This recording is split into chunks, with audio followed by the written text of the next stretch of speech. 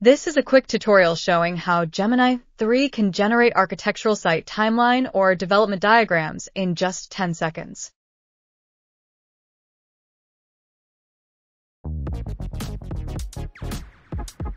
In this demo, I'm using the free version of Gemini 3. While Gemini Pro with Nano Banana Pro needs a paid upgrade, the free model is already powerful enough for image generation. You can see more examples in my earlier videos, all produced with the free Nano Banana model.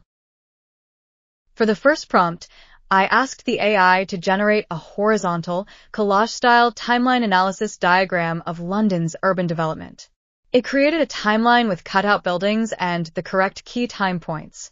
When I changed the style description, it updated the graphic while keeping all the information the same. For this timeline diagram, I'm using a slightly longer prompt than usual because we need to provide the location, background, color coding, and the exact information required for the analysis.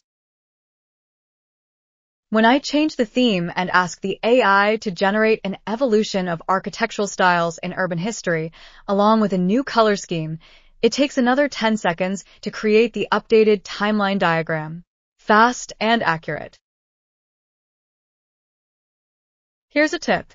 If you want the style and content to be completely different from your previous conversation with Gemini, always start a new chat. Even with the same prompt, you'll get different results.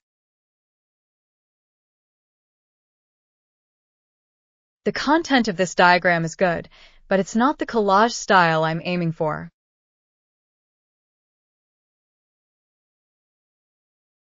So I refined a few elements in the prompt and generated it again. This time, I got the architectural style timeline exactly the way I wanted.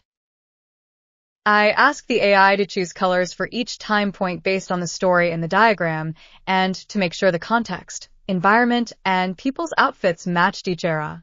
I can even ask it to convert the whole thing into an isometric diagram, and it smartly transforms the collage-style buildings into clean isometric 3D drawings. Really impressive. I can even ask it to turn this content into a PowerPoint. It takes about 30 seconds to generate a full presentation on the side of the conversation, illustrating each section with accurate text and images. It even includes a reference image source page. Amazing!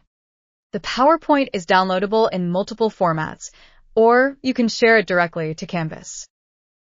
Here are more styles I generated with Gemini.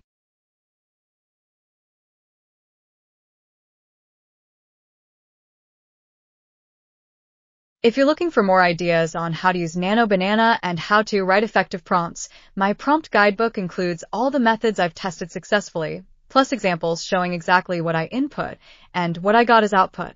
It covers things like turning a 2D plan into a 3D perspective rendering for both landscape and architecture design.